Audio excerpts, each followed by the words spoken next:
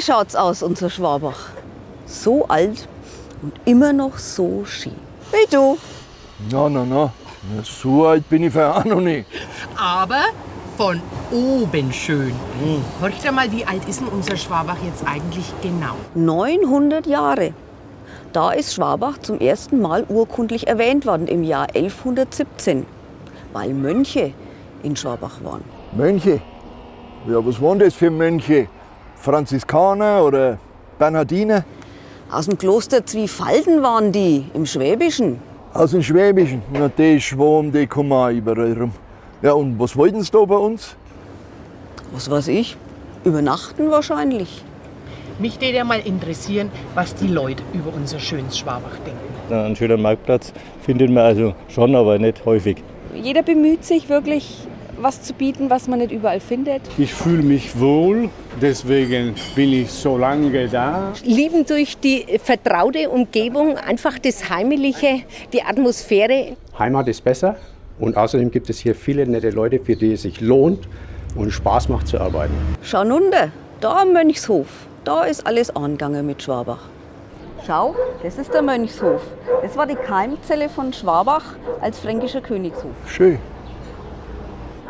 In der ersten Zeit hat Schwabach viele unterschiedliche Herren gehabt. Er- Erst waren es die Könige, dann war es das Kloster Ebrach, dann Habsburg, dann kam der Graf Emmichow von Nassau. Wer hat der Kassen? Emicho. Es wäre ein schöner Name für einen Schwabacher Baum heutzutage. Emicho Meier. Mit Y. Das nicht so groß ist wie Nürnberg, ein bisschen mehr das Heimliche. Ich kannte Schwabach eigentlich überhaupt nicht. Nur, nur die, die, äh, die Ausrichtung als kleinste kreisfreie Stadt Bayerns hat mich angezogen und schien mir die per beruflichen Perspektiven hier besser als anderswo. Hier, die Einwohner sind so freundlich, hilfsbereit, helfen einem weiter. Nicht das typische fränkische Gemaule, sondern wirklich hilfsbereit. Weil ich Schwabach liebe. Weil das wie eine kleine Familie ist. Ich bin mit Leib und Seele Schwabacher.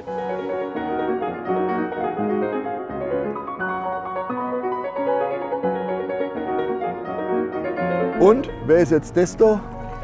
Das ist Adolf von Henselt. Der ist 1814 in Schwabach geboren und war ein begnadeter Pianist. Ja, das glaube ich schon, dass der früher keine Schreibmaschine geschrieben hat.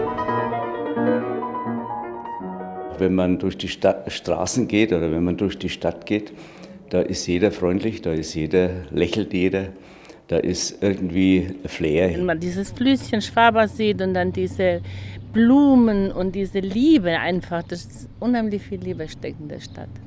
Ich liebe die Menschen, die in Schwabach wohnen. Es sind rundweg fast alle, fast alle tolle Menschen. Macht mir riesig Spaß, mich mit denen zu unterhalten. Ja, wir haben die schönste Innenstadt, die es gibt. Ich bin immer am Stadtrand von Schwabach groß geworden, 100 Meter von der Stadtgrenze entfernt. Und dass es mich tatsächlich mal in die Stadt reinspült, hatte ich bis dahin gar nicht auf dem Schirm. Da schau, die kenne ich jetzt auch. Unser Schwabacher Stadtkirch. 1495 ist die Kirche so, wie es jetzt dasteht, fertiggestellt worden damals. Nach jahrhundertelangen Bauarbeiten. Ja, an die Bauarbeiten kann ich mich auch noch erinnern. Na, vom Alter her könnte es hinkommen. Ich bin der Hans Grieshammer und da bin ich daheim. Schwabach ist für mich zu Hause. Also es gibt kein anderes Wort, was Schwabach für mich beschreibt. Man braucht nicht fortfahren, die Welt anschauen. Man kann hier in Schwabach alles erleben. Schwabach ist so schön, was Schöneres gibt es gar nicht. Wenn ich dann rein nach Schwabach fahre und ich schon den, den Glockenturm sehe oder den goldenen Dach äh, vom Rathaus, da, da schlägt mein Herz für Schwabach.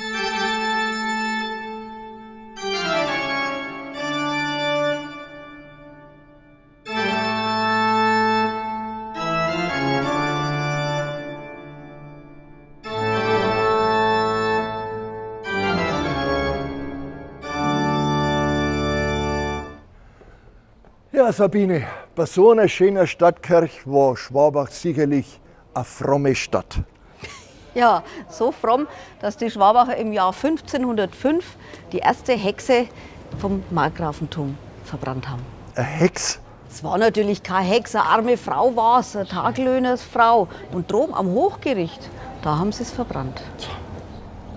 Tja, Was nicht alles gibt. Mein Gott, verbrennen die die arme Frau bloß, weil irgend so ein Blädel gesagt hat, das wäre Hex. Ja. Da passt der Schwabacher Spruch am Rathaus gut dazu. Schau hin. Hüt dich vor Unverstand, er ist dir große Schand und lass jedermann sein, der er ist. So sagt man nicht, der du bist.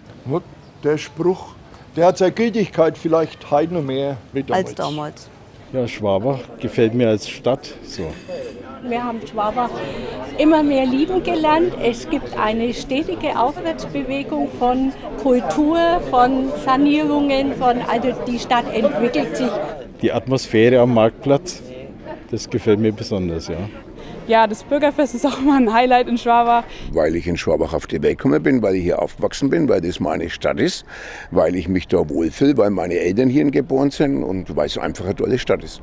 Ja, und wo gehen wir jetzt hin? Jetzt gehen wir hinüber zum Goldenen Stern. Ah, jetzt kommen wir zum Bier. Nein. Im Goldenen Stern sind 1525 die Schwabacher Artikel verabschiedet worden. Aha, Schwabacher Artikel. Vom Schwabacher Dachblatt. Nein, die Schwabacher Artikel sind die Grundlage der protestantischen Konfession. Da schau, die nächste Kirche, die Franzosenkirche.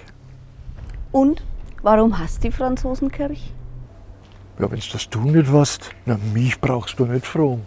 Im 17. Jahrhundert sind Glaubensflüchtlinge aus Frankreich nach Schwabach gekommen, die Hugenotten. Und die haben die Erlaubnis gekriegt, eine eigene Kirche zu bauen. Eben die Franzosenkirche. Ah, so. Was mir an Schwabach äh, Freude macht, das ist, ist alles kompakt, es ist alles ablaufbar, nette Leute, gell, macht richtig Spaß. Ja. Und bin jetzt heute mal da, um Schwabach wieder zu erkunden und zu entdecken und fühle mich total wohl. Die Leute, glaube ich. Das, äh, wir haben immer zu tun mit äh, auch nette Leute. Und am meisten liebe ich, wenn ich in der Früh in die Arbeit laufen darf und durch die Gässchen laufe und die Sonne so leicht reinscheint und ich, da fühle ich mich wie im Urlaub. mag sie eigentlich, weil sie klein und übersichtlich ist und eigentlich auch, äh, wie soll ich sagen, ja, äh, ein Stück weit familiär. Schau, Willi, dass die Hugenotten da gelebt haben. Das sieht man heute sogar noch an Straßenschildern. Aha, der Buschelsberg, den kenne ich. Pujolsberg heißt es eigentlich. Nach einer hugenottischen Familie namens Pujol, die hier 100 Jahre lang gelebt hat. Aha.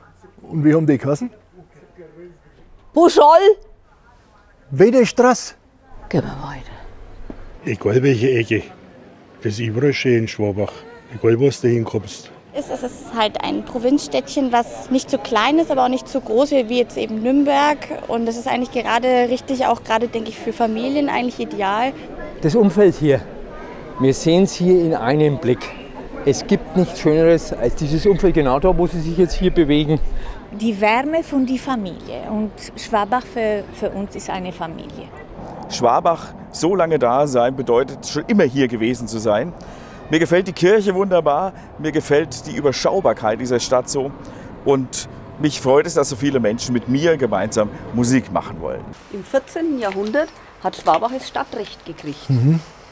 Eine Stadtmauer hat man gebaut mit vier Toren, Mhm. dem Nürnberger Tor, dem Zöllner Tor, dem Mönchstor und dem Hördler Tor. Mhm. Und ein Stadtsiegel haben wir bekommen Aha. mit gekreuzten Bierschöpfen drauf. Apropos Bierschöpfen. Das kommt später. Ja, Durst hätte ich jetzt schon. Im 19. Jahrhundert hat Schwabach Weltruf erreicht durch seine Metallindustrie, Nadelherstellung und Schraubenherstellung. Aber das schönste Metall ist natürlich das Gold. Anfang des 20. Jahrhunderts gab es in Schwabach über 120 Goldschlägereien. Und Schwabacher Blattgold wurde in die ganze Welt exportiert. Hat einen besonderen Charme. Ähm, von der Größe her, glaube ich auch, weil es ist eine schöne kleine Stadt. Man findet alles, was man braucht. Wir haben die Sportvereine, wir haben alles äh, in, in laufbarer Nähe. Schwabach ist einfach schön. fühlt sich einfach wohl. Das ist das, äh, es gibt es nur in einer Kleinstadt. In Nürnberg bist du immer äh, isoliert. Du Sabine, wie ist Schwabach eigentlich durch die Weltkriege gekommen? Im Zweiten Weltkrieg ist Schwabach von Bomben getroffen worden. Es hat auch Tote gegeben. Und nach dem Zweiten Weltkrieg hat die jüdische Gemeinde in Schwabach, die seit dem Mittelalter hier ansässig war, nicht mehr gegeben. Die meisten sind in den Konzentrationslagern umgebracht worden. Die Synagoge hier, die steht noch und erinnert an die schlimme Zeit. Ja, ich finde die Stadt einfach toll. Ich wohne ja auch mitten in der Stadt und die, die Leute in Schwabach, man kennt sehr viele. Ich liebe Schwabach einfach. Also es ist immer was geboten. Diese Kleinstadt, wo wir sind, aber dieses Schöne. Das ist einfach, wir sind eine kleine Stadt, haben aber alles, haben wunderschöne Feste. Und es macht Spaß, die Leute sind toll und ja, ich bin natürlich auch froh, bei meinem Chef zu sein. Ich merke es, wie es mir gefällt. Ich, als ich hergekommen bin, ich wollte eigentlich nur so ein, zwei Jahre bleiben und dann wieder weiterziehen. Und da ist natürlich dann schon ein halbes oder viertes Jahrhundert raus geworden. Ob es noch ein halbes wird, weiß man immer nicht. Also mir gefällt gerade das, das Überschaubare sehr gut. Und dass die Menschen auch wirklich äh, dass man zu den Menschen hingehen kann und man wird nicht abgewiesen. Und nach dem Krieg sind dann die Heimatvertriebenen nach Schwabach. Ja, ja, da waren meine Eltern auch mit dabei. 1946 sind sie aus Ungarn, aus Nemeth, Gierdom mit Güterzug nach Schwabach hergekommen. Und wie die Tür vom Zug aufgegangen ist, haben sie den ersten Begrüßungssatz gehört. Allmächt, wer ist denn Toto? Hat meine Mutter zu meinem Vater gesagt, Franz, eine Sprache ist das auch, aber Deutsch ist das nicht. Ja. Fahre sehr gerne her, weil es gibt unzählige Parkmöglichkeiten und im Frühjahr, Sommer ist hier ein, eine wunderbare Flora und man kann an vielen Ecken sich niederlassen und einfach die Seele baumeln lassen. Schwabach hat sich in den letzten 30 Jahren so gemausert ne, und äh, ist so vorwärts gegangen und insofern ähm, ist das eigentlich das Schönste. Ne? Wer kann schon sagen, dass er aus einer Goldschlägerstadt kommt? Kann ja auch nicht jeder sagen. Ne? Also Wenn ich in Italien bin, ich sage oft, ich gehe nach Hause. Das bedeutet, mein Haus ist hier in Schwabach. Und zu was kommen wir jetzt? Zum Bier! Und habt ihr jetzt ein bisschen was gelernt über Schwabach? Freilich, 2017 wird Schwabach 900 Jahre alt. Und ich habe einen Haufen Leid kennengelernt. Mhm. Dann könnten wir jetzt doch eigentlich anstoßen aufs Stadtjubiläum. Oh ja. Bin ich dabei. Prost, Schwabach!